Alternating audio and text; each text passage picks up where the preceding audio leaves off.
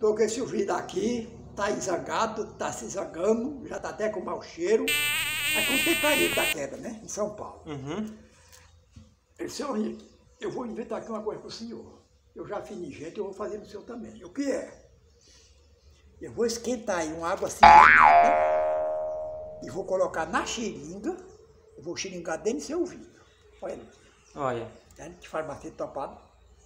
E eu,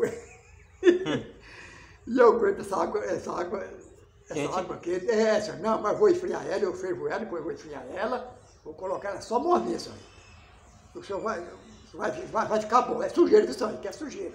Se ele botou a luz aí, viu?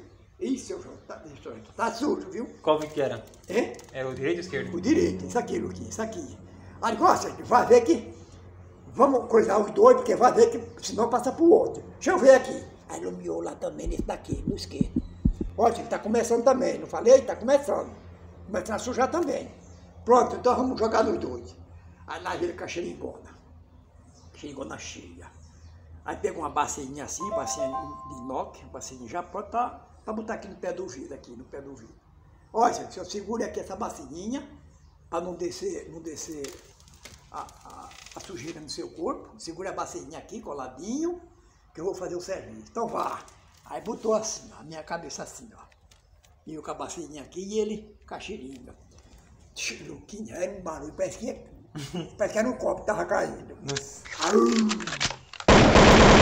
Meu Jesus! E ele aguenta, só, aguenta, aguenta, aguenta. Onde pensa que não, que mandou, eu tirava, tira a bacinha, senhor, senhor Rico, olha, olha a bacinha. Ixi, tava Ele preta. tá aquele sarapaté. Nossa! Sabe aquele sarapaté? Meu Jesus!